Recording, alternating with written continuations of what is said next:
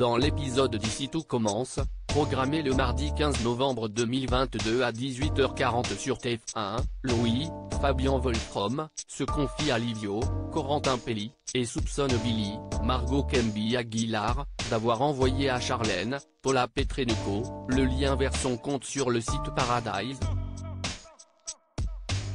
Livio pense qu'elle n'avait pas d'intérêt à faire cela, mais Louis est persuadé que Billy est responsable de ce qui lui arrive.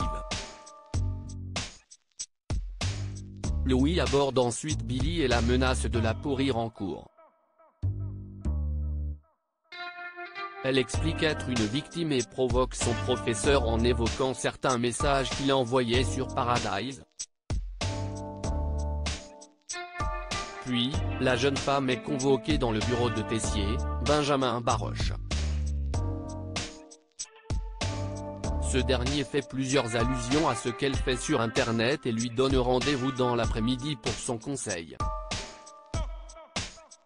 Le directeur sous-entend qu'elle devrait être virée, à moins que Billy trahit Tessier, Lionel déstabilisé dans Ici tout commence sur TF1 elle risque de se faire virer pour avoir sali l'image de l'institut. Tessier lui propose de passer un deal. Lors du conseil de direction, elle doit se faire passer pour une victime. Il lui demande de dire que Louis échangeait avec elle sur le site en sachant que c'était son élève. Billy explique que ce n'est pas le cas, mais Tessier lui met la pression. Il lui fait comprendre qu'elle a tout à gagner à mentir. Plus tard, Samia conseille son ami d'écouter Tessier, mais Billy hésite fortement.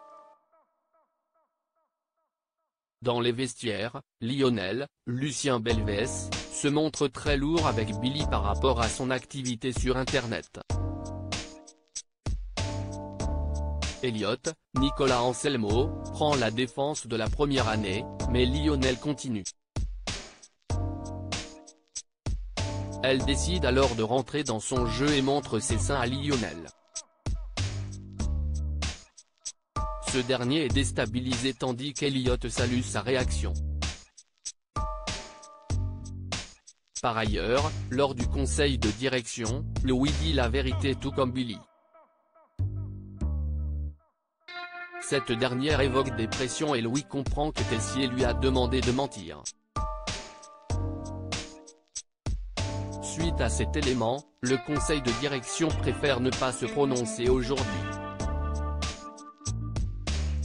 Une terrible désillusion donc pour Tessier. Salomé et Thomas bientôt en couple Salomé, Aurélie Ponce, s'excuse auprès de Kelly, Axel Dodier, pour l'avoir fortement incité à renouer les liens avec son père. Elle est désolée d'avoir trouvé des excuses à Thomas et promet de ne plus se mêler de leur relation.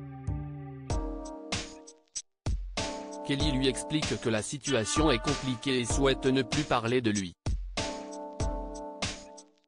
Tante et nièce se réconcilient.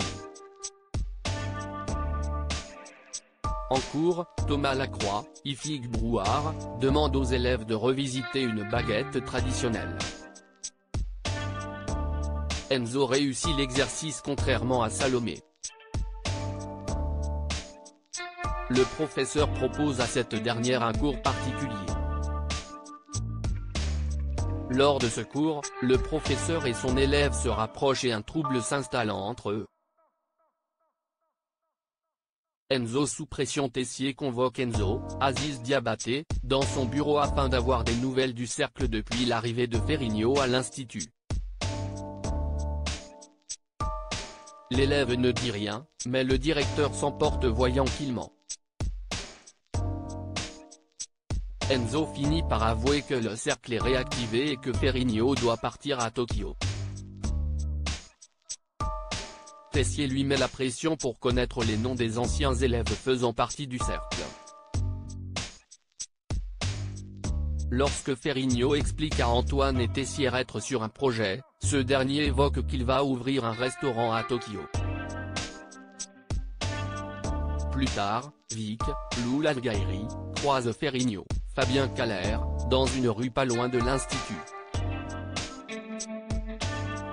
Il lui explique avoir menti afin de connaître la loyauté du cercle. Il a volontairement fait croire qu'il partait à Tokyo. Il soupçonne Théo d'être une taupe, mais Vic a une autre idée. La sœur d'Hortense décide alors de confronter Enzo. Celui-ci se montre convaincant dans sa défense, mais Vic le met en garde en rappelant qu'elle connaît son secret. Ici tout commence à retrouver du lundi au vendredi à 18h40 sur TF1.